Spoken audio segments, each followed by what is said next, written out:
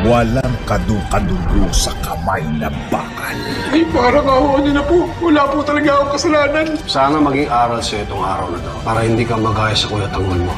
Alam mo, Marites, hindi-hindi ako magiging kagaya mo. Pabaya at walang silbing ina.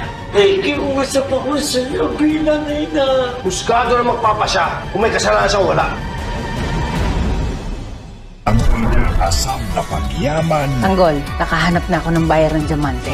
mauuwi lang ba sa wala? Napakaganda. Mas maganda yan kung babayaran mo na kami.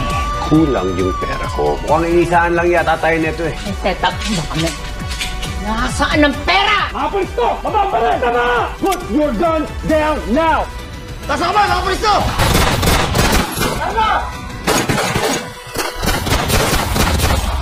At sa sabong ng mga sindikato, Marcelo, puntahan mo si Mr. Villegas. Tahan natin si Villegas. Alamin natin kung si Facundo nga ang bago nilang supplier. may susunod na bang mawawala? Sino Facundo? Surprise! Naloko tayo. Dito na kayo mamamatay! Anong gagawin natin dyan? Ako na bahala dito, papatayin ko na! Boss! Tago!